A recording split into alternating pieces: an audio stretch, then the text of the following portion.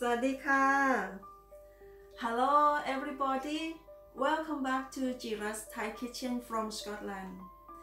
This week in Scotland has been raining all week. I found it a bit cold. So I'm going to show you how to cook the most popular Thai noodle soup to warm my tummy up. It's a top, it's a top 10 famous noodle soup from Thailand you can find this dish being served all day long along the streets and local markets all around Thailand. It's called Gui Tiao Kai Tun, which is Thai noodle soup with chicken drumsticks. The major ingredients that I'm going to use is the Chinese, the Chinese spices stew. It's like a Thai and a, and Chinese herbs I hope you can find this from your local grocery shops, uh, like your local Asian grocery shops. And yes, you put this in your soup to bring uh, a nicer taste and smell. And also it's very healthy.